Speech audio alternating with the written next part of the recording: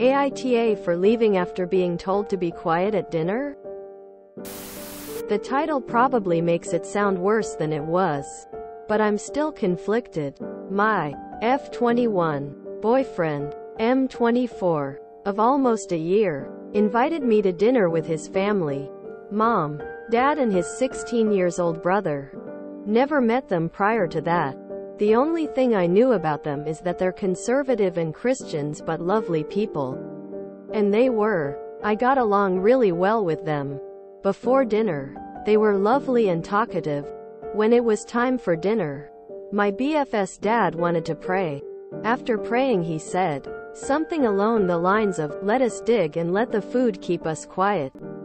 This is a pretty popular saying in our country, mostly told to young children in school.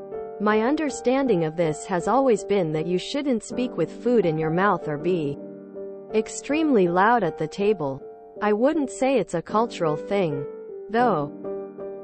I dug in, took a bite. It was fish soup, absolutely delicious. And you know, like a good guest I wanted to compliment the cook.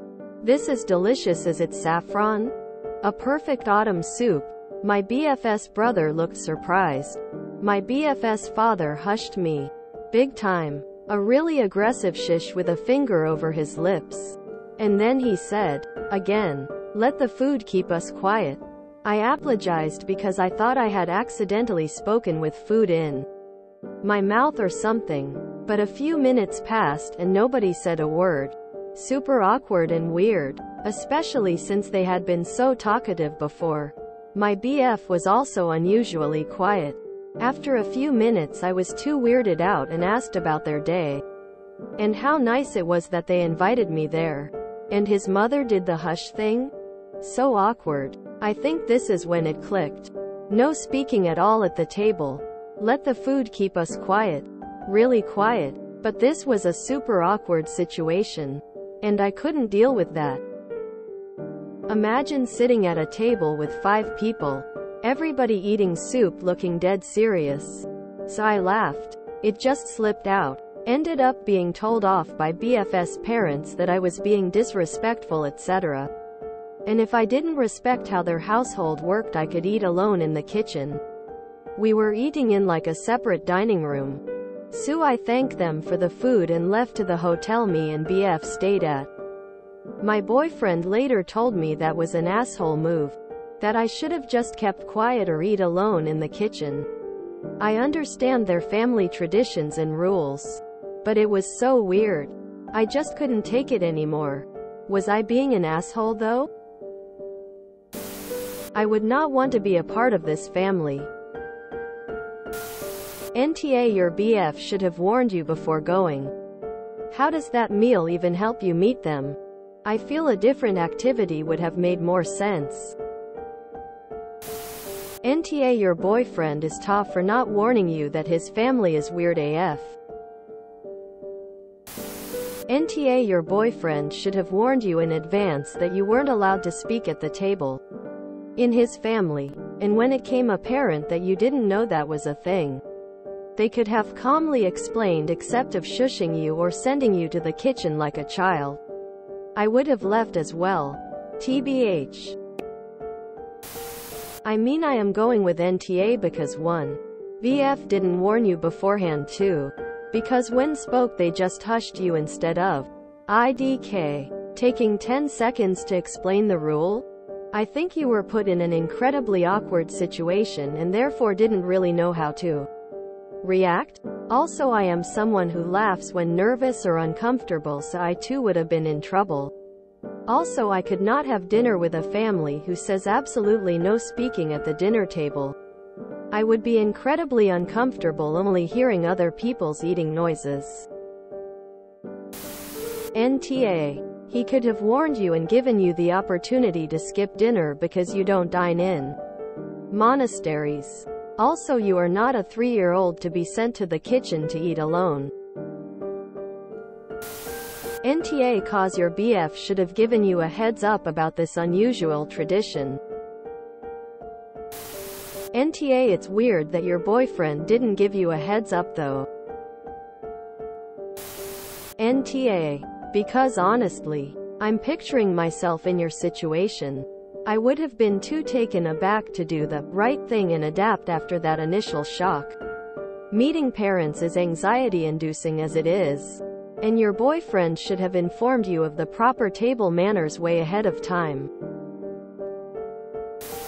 NTA. They told you to be silent in the rudest, weirdest power play possible, then had the nerve to tell a grown woman to eat alone as a punishment.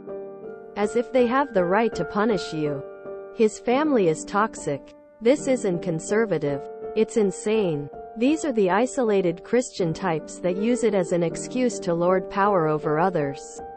They're obsessed with control and I would bet money that this is only the tip of the iceberg with their unhinged demands. Avoid them up. Nothing good will come from that kind of dynamic. Info. Is this a common practice where you are? Is it more of an outdated tradition you knew of and had never seen or had you never come across this before? If it were me in my country I'd absolutely say you're not an asshole I'm not sure I could have kept a straight face over such an absurd and outlandish request but that's on the basis of the cultural norms of the countries I've lived in. It really depends on how common this is in your country and how reasonable it was for you to not know about it, for them to expect it. NTA. I also can't help myself from giggling in uncomfortable situations. But I can see why they found it disrespectful. And I'd leave too if they told me to go sit alone in the kitchen and my boyfriend said, did nothing. He should have told you in the first place how weird his family is at the dinner table so the whole thing would have been avoided.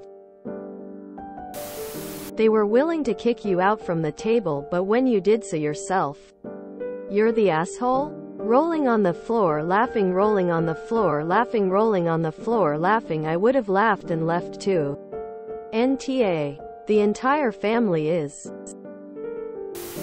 NTA. Because your BF didn't prepare you beforehand. This is such an uncommon situation that he should have absolutely given you a heads up before. Yes. You reacted a bit immature by laughing. But there are people who have that reaction when uncomfortable and you clearly were. Also this is a wild way to host a guest. NTA. Super rude that your boyfriend didn't tell you about this in advance. Also seems like he lacks self-awareness in being mad at you afterwards when it was his fault in the first place. I would say Esh but I really think that if you knew about this in advance then you would have handled it better. I get that you were nervous and confused so a laugh slipping out isn't unusual. The day someone told me to go eat in the kitchen is the day I would be done not only with the meal, but with the ah boyfriend who thought I should have considered the idea. The most worrisome part is that he didn't think what they did was the rudest feeing thing I've ever heard. The fact that he didn't warn you ahead of time is a huge red flag IMO. NTA your BF should have given you a heads up. He didn't and put you in a position to be chastised by his family. Info. Does your BF keep quiet when you two have dinner together? NTA. This is so weird and your BF should have warned you. So you had the choice to meet his parents at a neutral place and or choose a different setting than a dinner. He knows that eating in silence is not the norm and would be uncomfortable for you. So why would he pick this as the time to meet his parents? And his parents were extremely rude to shush a grown adult and demand a guest eat alone in the kitchen. What was the point of even inviting you to dinner?